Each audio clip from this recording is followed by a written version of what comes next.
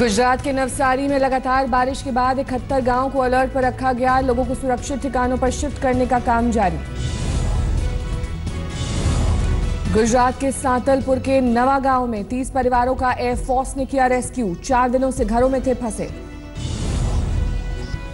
भारतीय वायुसेना के मार्शल आर के धीर ने गुजरात में बाढ़ के हालात का लिया जायजा। एयरफोर्स के रेस्क्यू ऑपरेशन पर की चर्चा। राजस्थान के झालावाड़ में भारी बारिश से रेलवे ट्रैक डूबा, रेल सेवा हुई प्रभावित। बाड़मेर के लूनी नदी में फंस गए आठ ऊँट, लगातार बारिश की वजह से जलस्तर बढ़ने से फंसे।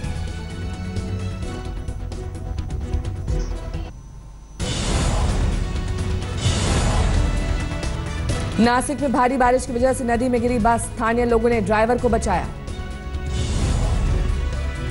एमपी के आगर में मंदिर और दरगाह पानी में डूबे, भारी बारिश से जनजीवन बुरी तरह से प्रभावित। पश्चिम बंगाल के मिदनापुर के घाटल में बाढ़ में फंसे लोगों को एयरफोर्स ने बचाया। कई दिनों से फंसे थे लोग। आज भी रेस्क्यू ऑपरेशन। बर्दवान में भारी बारिश के बाद कई गाँव में बाढ़ जैसे हालात। एनडीआरएफ की टीम ने संभाला मोर्चा। असम के बारपेटा में नदियों के किनारे होने वाले कटाव से गाँव वाले परेशान। बेकी नदी में सबसे ज़्यादा खतरा।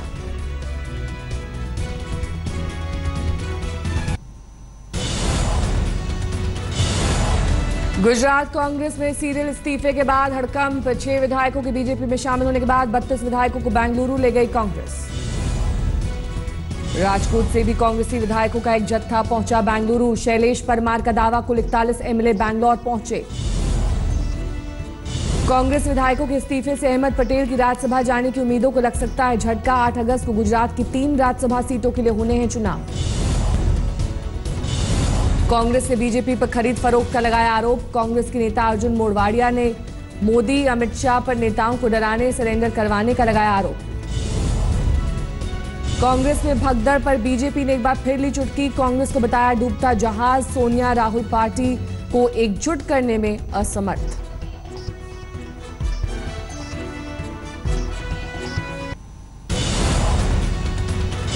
महाराष्ट्र विधानसभा में वंदे मातरम को लेकर हंगामा एआईएमएम विधायक वारिस पठान और बीजेपी विधायक राज पुरोहित के बीच झड़प।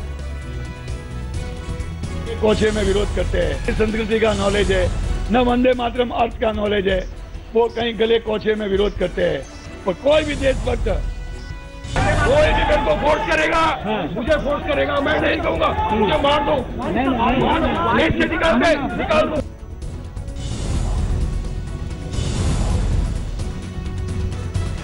इस्लामिक धर्मगुरु जाकिर नायक की संपत्ति कुर्क करने के आदेश, एनआईए जल्द शुरू करेगा कार्रवाई। राजस्थान के हर विज्ञापन में अब दीनदयाल उपाध्याय की होगी तस्वीर। आदर्श स्कूलों के बोर्ड का रंग भी होगा भगवा। विधानसभा में बीजेपी नेता नंद किशोर यादव ने तेजस्वी पर साधा निशाना, बोले, नीतीश को नहीं पता था, बिना मूछों वाला है करोड़पति।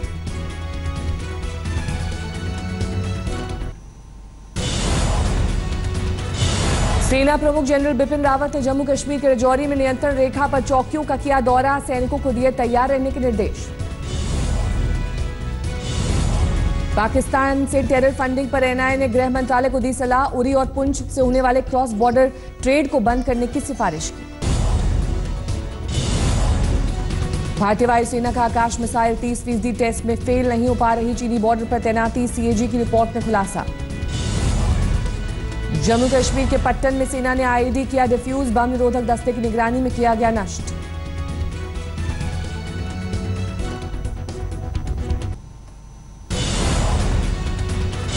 मथुरा की छाता कोतवाली में दो पुलिसकर्मी आपस में भिड़े, दोनों के बीच जमकर हुई मारपीट और गाली गलौज।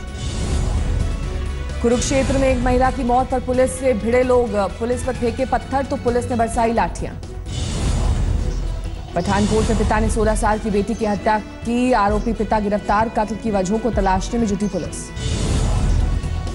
भटिंडा में पति ने पत्नी और उसके प्रेमी को मारी गोली कातिल पति ने पुलिस बुलाकर किया सरेंडर। बर्दवान में टीएमसी के दो गुटों में खूनी झड़प, एक को पीट पीट कर मारने का आरोप।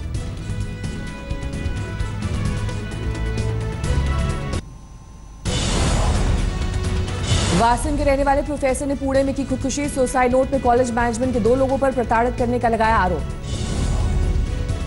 जोधपुर में छोटी सी गलती से स्कूटी चालक घायल, ट्रक ने मारी टक्कर, सीसीटीवी में कैद हुआ हादसा। एमपी के श्योपुर में दो फर्जी पत्रकार गिरफ़्तार, चार फरार, सौ से ज़्यादा ठगी मामले में पुलिस कर रही है जाँच। दिल्ली में चालीस हज़ार रुपए के फर्जी करेंसी नोट मामले में एक गिरफ़्तार, पुलिस को उसके साथियों की तलाश। दिल्ली के कृष्णा नगर में खादी ग्राम में शोरूम में डाका, छह लाख के कपड़े और कैश लेकर चोर फरार।